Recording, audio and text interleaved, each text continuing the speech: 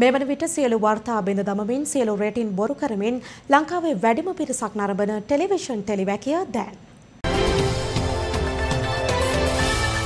Television ටෙලිවැකිය Senaratne Weerasinghe කියන කෘතහස්ත ලේකකයා එක්දහස් සංසය අසුවටහේ පරිවර්තනය කළ පුංචි පොත්පිංචක හරි අපූරු කතාවක් තියෙනවා. පොතේ නම සූ සැටක් උපමා කතා. මේ පුංචි පොතේ ඇත්තේ චීන උපමා කතාවක්. කතාව මෙහෙමයි. එක් රාජ්‍යයක ජීවත්වන මිනිසිකු ඉන්නවා. මෙ මිනිසා ඉංගුරු වැවෙන්නේ කොහේ දැයි දන්නේ නෑ. ඔොන්ද හිතාගෙන ඉන්නේ ඉංගුරු වැවෙන්නේ ගස් සුඩ කියලයි. නමුත් ඉංගුරු අල බහින්නේ බිම කියලා දවසක් ඔහු ගේම මිත්‍රයෙක් තේරුම් කරලා දෙනවා. නමුත් පිළිගන්නේ නෑ පිළිගන්නේ නෑ විතරක්න මේ ඔට්ටුවකුත් අල්ලනවා. හොඳයි අපි දහ දෙනෙකුගෙන් අහල බලමු ඒ දහ දෙනාම කිවෝත් ඉංගුරු වැවෙන්නේ ගස් සුඩ නෙවෙයි කියලා ඕන්න මම පිළිගන්නවා. එහෙම වුණොත් මම මගේ බූරුවව ඔහේට තෑග්ගක් හැටිට දෙනවා කියලා හොඳයි. දැන් ඉතින් දෙන්නම මගදී මුණ ගැහිලා ඔන්න දැන් පාරදිගේ මගේ මුණ ගැහෙන අයගෙනුත් දැම් මෙන්න මේ ප්‍රශ්නය අහනවා. මේ ඉංගුරු වැවෙන්නේ කොහේද? ඉතින් හැමෝගෙන්ම හම්බෙන උත්තරේ තමයි ඉංගුරු අල්ල බහින්නේ පොළවෙනි පස් යටන කියලා. දැන් ඔහොම දහ දෙනෙක්ගෙන්ම අහන්ට ලැබුණේ එකම උත්තරේ. ඔන්න දැන් මිනිහ පරාදයි. දැන් ඉතින් මිනි අපරාධ කියන්න බෑ. මේ අපේ රටේන පොරොන්දුනු තිෂ්ට කරන්න නැත්තේ. මිනිහ පොරොන්දු වෙච්ච විදිහටම යාගේ යාළුවට බූරුවව දෙනවා. දීලා අනි පැත්ත හැරලා ඉති මිනිහ දැන් ගෙදරයන්ට යනවා. යන ගමන් ආයේ මෙන්න මෙහෙම මිනිහ තමන්ටම හිමින් කියාගන්න. ඒත් ඉතින් මම නං විශ්වාස කරන්නේ ඉංගුරු වැවෙන්නේ ගස් උඩම කියලා තමයි කියලා. හරිත. මිනිහා තමන්ට තනියොම කියාගනිමින් යන අපිත් එහෙමයි නේද.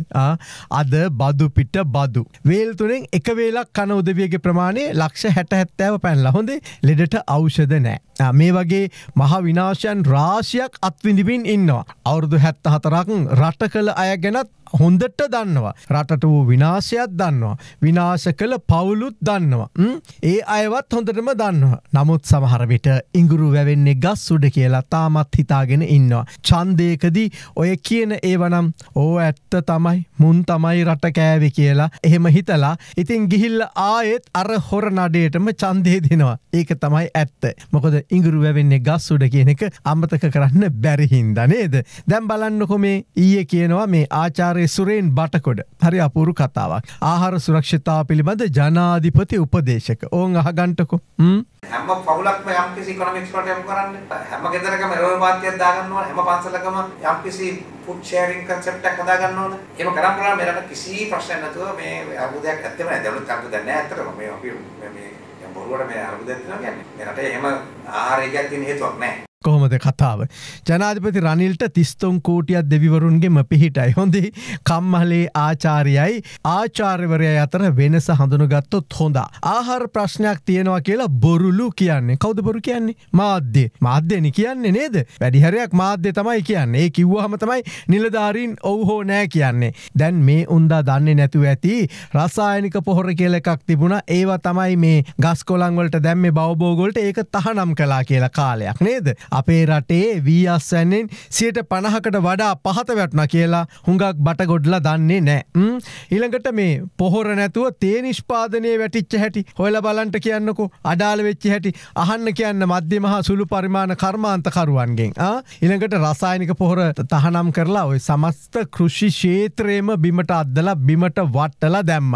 දැන් අද ඒක නාමල්ලා මේ මහින්දරාජ පක්ෂල හැමෝමත් වේදිකාවල කියනවනේ. ගෝටා බේගත්ත වැරදි තීන්දුවක් නිසා අරටට ඇනුන කියලා නේද. අපේ රටේ කෘෂිකර්මාන්තයට කෘෂි නිෂ්පාදන පහත වැටීමට ඔය රසායනික පොහොර තහනම සහ කෘෂි රසායනික වර්ගවල තහනම බලපෑව. ආය කතා දෙකක් නෑ. ඒ ඇත්ත පිළිගන්න. අනි පැත්ත තමයි ඔය බිම් සැකසීමේ සිට බොහෝ කෘෂිකාර්මික කටයුතු සඳහා විශාල මුදලක් වැෑ කරන්ට සිද්ධ වෙලා තියෙනවා. කෘෂිකාර්මික නිෂ්පාදන මත යපුන මිනිස්සුන්ගේ ජීවිත මොන්න තරම් බිඳවැටලද කියලා ඔය සීතල කාම්බරවලට වෙලා ටයිකෝඩ් දාගෙන ඉන්න නිල්ලධහරි දන්නවනගේ මේ රටට මේ කල යාවියයි නේද? ඔය ටයි පටි සුදු කරපටිකාරින් දන්නෙම කොමිස් ගහන්න. හොරාගන්න මිසක් ආය වෙනමනවාද නේද? එඳලා හිටලා ගල්ලඟුරු කෑල්ලකින් හරි කමක් නෑ කියක් හරි ගහගණ්ඩ හම්බුණොත් ඉතින් ඔය ගහගත් ඇගේ තිහාසියත් අපි දන්නවා. හොඳේ. එතකොට ආහාර උද්ධමනය සියට අනු හතර පැනලා දන්නැත්තං හොයාල බලන්න. දැන් මේ උපදේශක බයියන් හිතාගෙන ඉන්න ඇත්තේ මේ ආහාර සුරක්ෂිතතාව.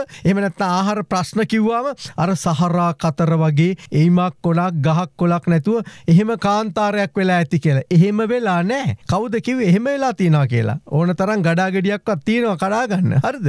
එහෙමරටක් නෙමේ තාම තියෙන්නේ. ඒක ඇත්ත. වියලි ලී දණ්ඩක් හිටෙව්වත් අර පැලවෙනවා කියල කියපු පොළොව තියෙනවාන නේද? ඒව තියෙනවා. දැන් අහගණ්ඩක මේටික කොස් අල්ල බතල මං්යොක්කා ඒවත් තියෙනවා. ප්‍රශ්නය තියෙන්නේ මේ තියෙන ආහාර මේ තියෙන බවබෝග මාලු කෑල්ලක් කුකුල් මස් කෑල්ලා බිත්තරයක් කිර ටිකක් මිලදී ගන්නට ජනතාවට අද ශක්තියක් නෑ. හරිද? අර කෘෂිකර්මාන්තේ බිඳ වැටීමත් එක්කම මිල ඉහල යාමත් එක්ක දැන් ගණ්ඩම බැරිතන්ට මිනිස්සු තල්ලු වෙලා. එක තේරුම් ගන්න. රුපියල් සියේ වටනාකම රුපියල් තිහට වැටිලා. ඒ තිහටත් බදු ජාති හැටක් විතර ගහනවා. දැන් ඉතිං අද ජනතාවගේ ඔය ක්‍රේශක්තිය මිලදී ගැනීමේ ශක්තිය ආං ඒක හොඳටම අඩු වෙලා. එතකොට කෘෂිකාර්මික නිෂ්පාදනවල මිල හොඳටම ඉහල ගිහිල්ල. මේ සුරේන් බටගොඩ්ලගේ ජාතිය ආචාරයලා මේ රට අගාදයට ඇදලදාපු ඒ ගමනේ කොටස්කාරයෙන්. ඉතින් මේ ආචාරි උන්නහේ කියන විදිහට ආහාර ප්‍රශ්නයක් නැත්තම් මේ හන්නක යාගේ වචනමනේ මෙරට කිසි ප්‍රශ්නයක් නැතුව මේ අර්බුදයක් ඇත්තම නැහැ. දැනුත් අර්බුදයක් නැහැ ඇත්තටම. මේ අපි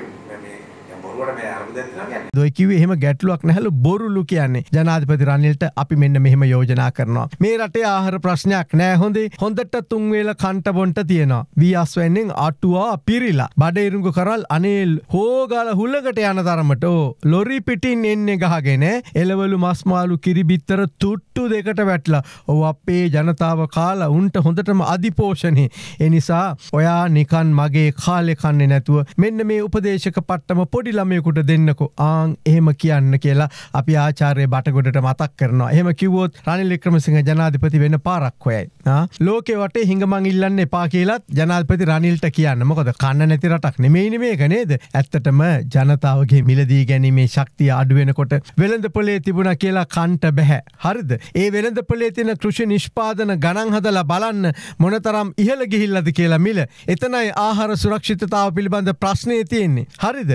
ගන්න සල්ලි ඕනේ. අනික ඔය ආහාර සුරක්ෂිතා කමිටු මොකට දෙතින් එහෙම ප්‍රශ්නයක් නැති රටකට. ප්‍රශ්නය බොරුවක් නං ඇයි කමිටු? ඔන්න ඕක විසුරුලදාන්ට කියලා අප ජනපති රනිල්ට යෝජනා කරන බලාගෙන. අපේ රටේ දේශපාලනක්නීන්ම සමහර වෙලාවට සීතාම්බර සලුපට ඇඳගත්තා. හැබැයි ඒ වුනාට ඔය දේශපාලනක්ජීන්ට සීතාම්බර සලුපට අන්දපු තරමක් ඇන්දුවේම ඔය ටයිකෝඩ්දාගත්තු සීතල කාම්බරවල සැපට ඉන්න බටයලා කියලා මේ වෙලාවේ මතක් කරනවා. ඒක නිසා පරිස්සමින් සීතාම්බර සලුපට අන්දන්න හදන්න එපා.